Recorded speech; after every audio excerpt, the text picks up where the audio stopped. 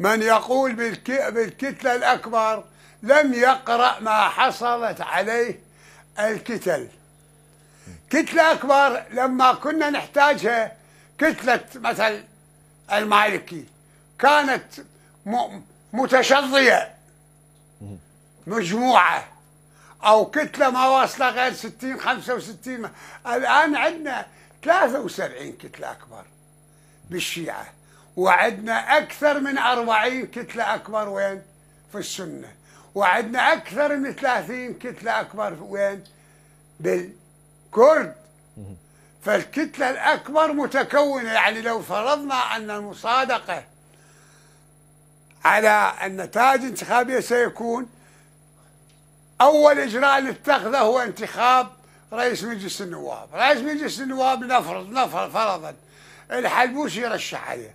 الحلبوسي يحتاج إلى سائرون يحتاج إلى الكتلة الصدرية ويحتاج إلى الديمقراط الكردستاني.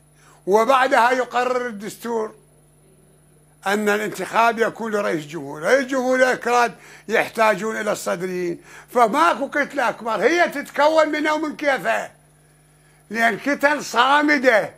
ما دخلت عليها أطراف أخرى.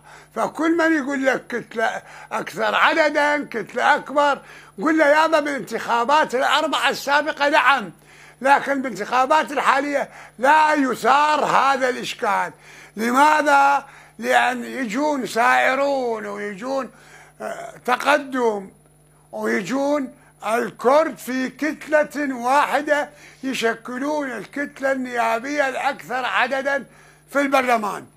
أي جماعة آخرين في البرلمان ما يقدرون يجمعون أكثر منهم. فهم الكتلة الأكثر اللي يشكلون. رئيس مجلس النواب ورئيس الجمهورية ورئيس مجلس وزراء بدون دوخة الكتلة النيابية الأكثر عددا.